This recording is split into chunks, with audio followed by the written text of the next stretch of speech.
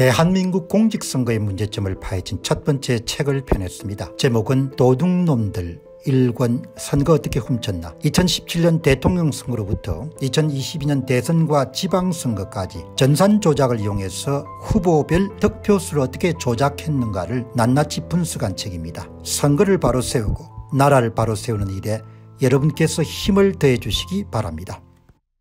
자 여러분 이제 오늘 강서 보궐을 한번 복습을 하겠습니다. 예, 오늘 역대 강서구청장 보궐선거에 대한 모든 분석 작업이 끝났기 때문에 예, 여러분 이거 한번 보시기 바랍니다.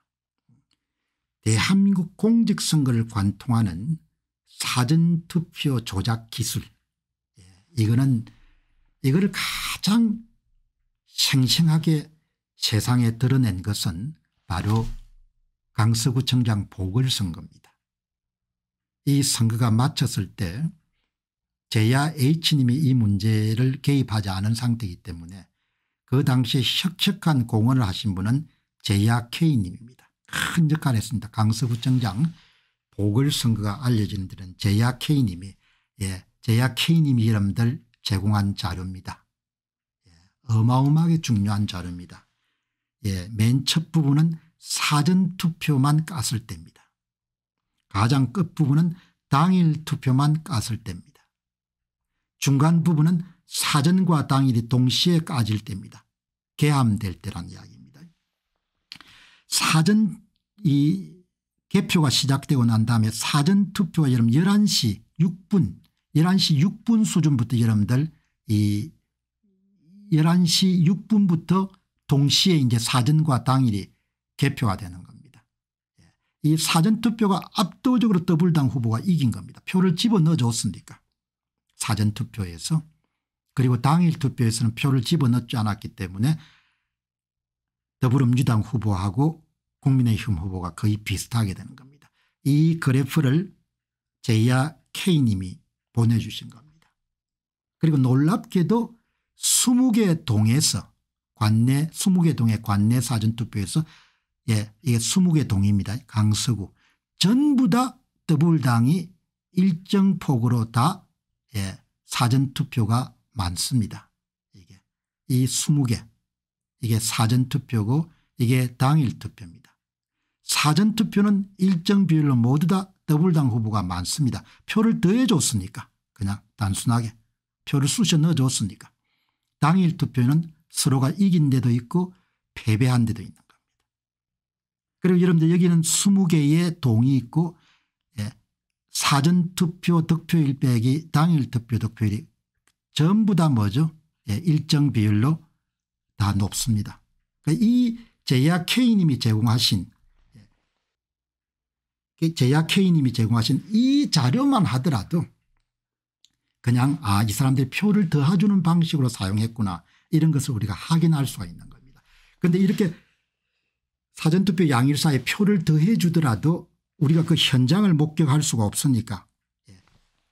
사전투표가 조작이 끝난 이후에 선관위가 여러분들 조작된 후보 별 득표수를 발표하게 되면 그래프가 여러분 이렇게 바뀌는 겁니다. 이거는 조작이 끝난 상태의 그래프입니다. 이게 2023년 10월 11일 강서구청장 보궐선거고 차이값 이게 2022년도 6월 1일 전국 동시지방선거에 강서구청장 선거의 조작값입니다. 이 보시기 바랍니다. 어마어마하게 값이 큽니다. 플러스 17.2% 마이너스 16.5% 10월 11일 강서구 그만큼 조작을 많이 했다는 겁니다.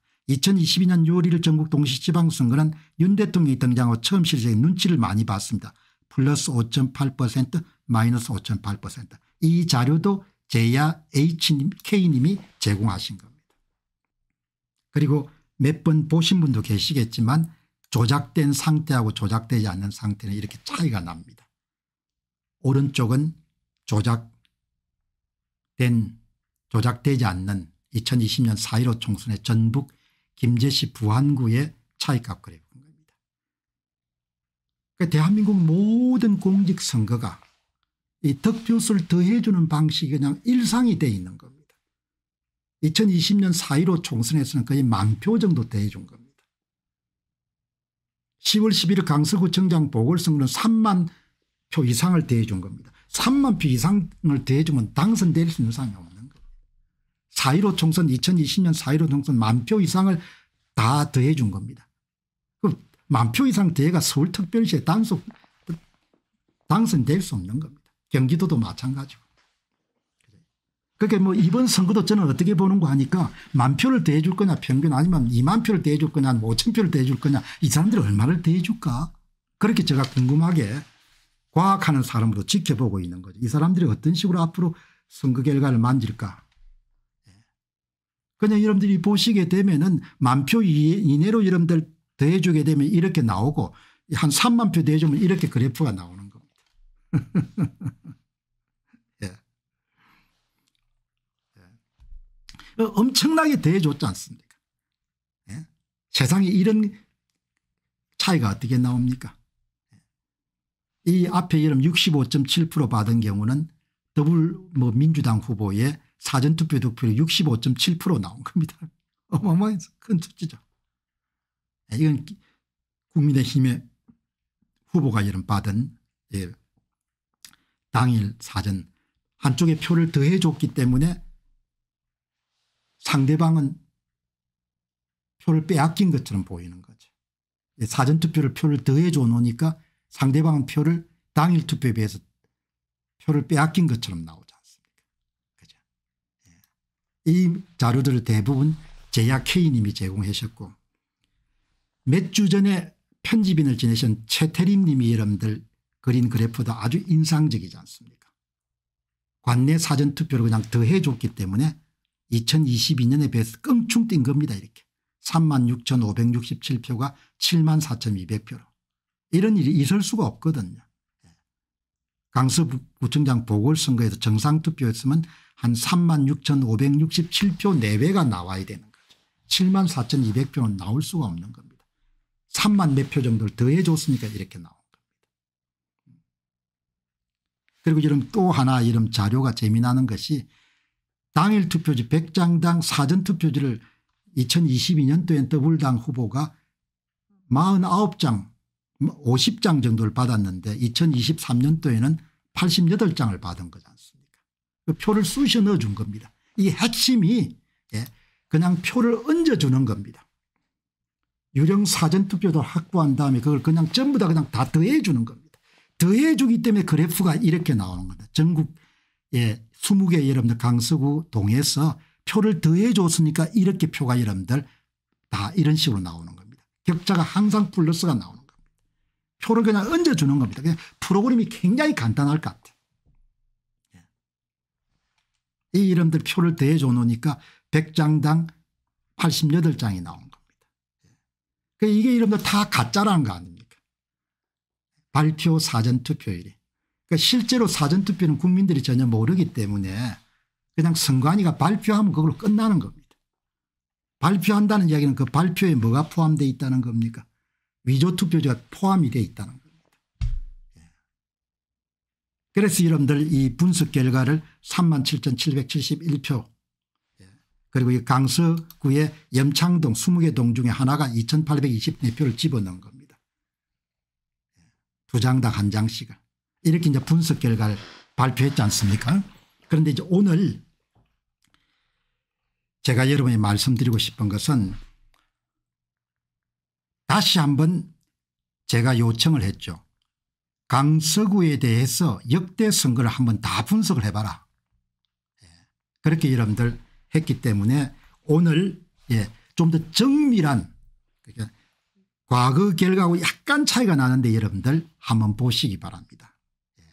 예. 이 강서구청장 보궐선거를 제야 전문가 여러분 다시 정밀 분석을 해보니까 3만 7,771표가 아니고 3만 8,306표를 집어넣은 겁니다. 그리고 관내 사전투표 여기 나오네요. 관내 사전투표는 3만 7,771표를 집어넣고 관내 사전 이게 뭐죠 관내가 아니고 이거는 거소 투표에서 535표를 집어넣은 거예요. 여러분들 그러니까 전번에 발표한 것은 여러분들 여기에서 3만 7,771표는 관내 사전투표만 포함된 것이고 거소 선상투표는 포함이 안 됐는데 거소투표 가격에는 포함을 하니까 3만 8,306표를 집어넣은 겁니다. 관내 사전투표에 3만 7,771표를 집어넣고 거소투표에 535표를 집어넣은 겁니다. 예. 관내 사전투표는 조작값 기준으로 33%고 거소투표는 조작값 기준으로 38%입니다. 방법은 두 표당 한 표를 집어넣은 겁니다. 사전투표장에 두 사람이 와서 투표용지를 교부받으면 진짜 투표지 두 장당 가짜 투표지 한 장에 집어넣어주는 겁니다. 위조 투표지 3만 8,306표 예, 전문가 이름 차이는 나지 않습니다. 전문가는 그냥 관내만 이야기를 드린 것이고. 이러면 이렇게 조작 결과가 다 나온 겁니다. 이 작업은 제야 전문가가 하신 겁니다. 최종 결과가 가짜 3만 8,306표 사전투표장을 찾은 진짜 사전투표자 수 7만 6,409표. 진짜와 가짜를 합쳐가지고 11만 4,715표 강서구청장 보궐선거의 사전투표자 수가 이렇게 선관위가 발표한 겁니다. 11만 4,711표에는 가짜가 얼마가 포함되어 있습니까 3만 8,306표가 포함되어 있습니다. 그게 전부 다 더블당 후보한테 더해진 겁니다. 예. 그러니까 이 보시게 되면은 이 그래프를 다시 한 번 더 이런 보시게 되면은 예. 이 작업을 한 겁니다. 3만 예. 8천 표를 확보한 다음에 두 표당 한 표가 들어가도록 해가 3만 8천 여표를 모두 다 더불당 후보와 함께 더해지도록 20개 동하고 거소 투표에 더해지도록 작업을 한 겁니다. 실물로 위조 투표지 투입한 거는 내가 안 봤으니 모르겠는데 두 개가 일치했으니까 4박 5일 사이에 집어넣었겠죠. 이런 작업들을 해가지고 밝혀지게 된. 이 제야 전문가가 굉장히 큰 기여를 한 겁니다. 이, 이 내용을. 그러니까 여러분들 지금 이 보시는 예, 사전투표 이거 이거는 관내 사전투표만 본 겁니다. 관내 사전투표만. 염창동에 2824표 예. 그다음에 이름 화곡본동에 1831표 근데 이제 거소투표는 몇백 표 안 되지만 함께 여러분들 보니까 이렇게 535표를 더해 가지고 3만 8,306표를 집어넣은 그럼 이 3만 8,306표를 확보하기 위해서 어떻게 했느냐 사전투표를 조작을 한 거죠. 예, 여기 7.65표. 사전투표장에 진짜 오신 분들은 선거인수 기준 15.26% 선관위가 발표한 것은 22.92% 예. 선관위가 여러분들 더한 것은 7.65%입니다. 그러니까 이 실제 사전투표를 누구도 알 수가 없는 겁니다. 이거를. 예. 그냥 발표하면 땡인 겁니다. 발표하면. 22.92%로 발표를 해버린 겁니다. 이런 선거 데이터를 다 만들어낼 수 있는 겁니다. 예. 이게 이제 정상으로 됐을 때는 오른쪽입니다. 차이값이 거의 0값이죠. 예.